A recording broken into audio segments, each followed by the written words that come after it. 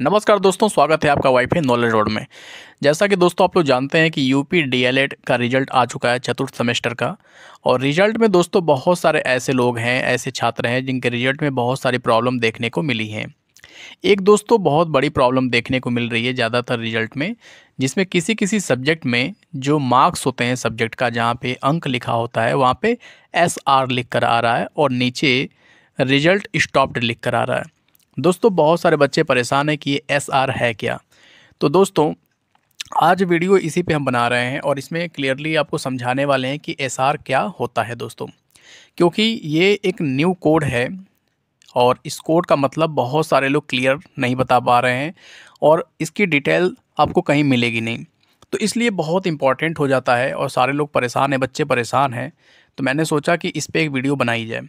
तो दोस्तों आप अगर इस चैनल पे नए हों तो चैनल को सब्सक्राइब करके बेल आइकन को प्रेस कर लीजिए, क्योंकि इस चैनल पे बहुत सारी इंपॉर्टेंट कैरियर से रिलेटेड वीडियो अपलोड की जाती हैं, जो आपके जीवन को बदलने के लिए अति उत्तम साबित हो सकती हैं। तो दोस्तों, आते हैं एसआर के मैटर पे। दोस्तों, जो एसआर लिख रहा है, एसआर की कई वजह होती है। एकदम एग्जैक्ट वजह ना तो बोर्ड बताता है, ना तो कोई सरकारी संस्था बता रही है। लेकिन कुछ पॉसिबिलिटी और कुछ जो बातें हैं इससे निकल कर आई हैं, वो ये हैं कि एसआर लगने का मतलब ये है कि हो सकता है कि आपके कॉपी, आपके रोल नंबर का दो कॉपी वहाँ पे मिल गई हों, आप ही के रोल नंबर जैसी दो कॉपी मिल गई हों, इस वजह से एसआर लिख रहा है। या फिर दोस्तों ऐसा भी हो सकता है कि हो सकता है कि आपके कॉपी से कोई छेड़छाड़ हुई हो, इस वजह से भी एसआर लिख सकता है, या ऐसे लोग जो जिनकी कॉपी में कोई वैसी नकल सामग्री मिली हो, ऐसी पॉसिबिलिटी बताई जा रही है कि उनके भी रिज़ल्ट में एस आर शो हो सकता है। या फिर, दोस्तों कॉपी के साथ कुछ ना कुछ गलत हुआ है, या कॉपी अवेलेबल नहीं हो पा रही होगी, या फिर कॉपी का सीरियल नंबर नहीं मैच कर रहा होगा तो एस आर लिख रहा है, दोस्तों।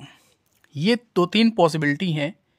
एकदम एग्जैक्ट कोई नहीं बता रहा है दोस्तों, लेकिन जो तीन चार पॉसिबिलिटी ये निकल कर आई हैं एसआर का मतलब यही होता है। इनमें से कोई ना कोई पॉसिबिलिटी तो है, और उसी वजह से आपका एस आर यहाँ पर लिख रहा है।